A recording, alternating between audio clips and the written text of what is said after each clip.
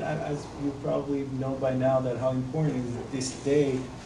Uh, It goes back years, years ago, before even uh, civilization was this developed. And uh, our teammate came up with that, that, that in Stonehenge, they, they made that day so specifically recognized that when the sun uh, uh, uh, sets in that day, the sun uh, ray goes through the Stonehenge uh, stones and shows exactly that path in that day.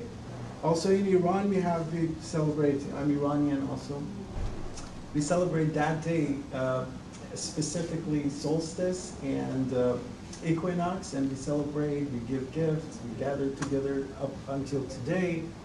And uh, for you, also for uh, um, Romans, right? Uh, Greeks. Greeks, Greeks also, they celebrate that, celebrated that day, they gathered, even slaves could participate in that day. So that was also a very, very important day in that uh, gathering. Great, thank you. Yeah, that's great. Your group. I did uh, something, a Norwegian tradition called Slinningsballet, which is held on the coastal town of Alesund.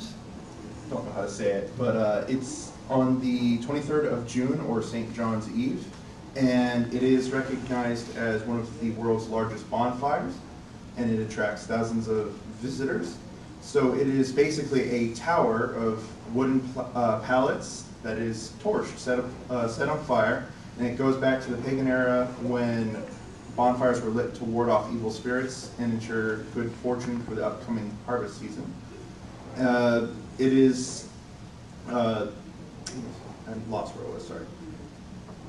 The tower is uh, often built to very impressive heights, and it set a world record in 2010 at 132 feet tall.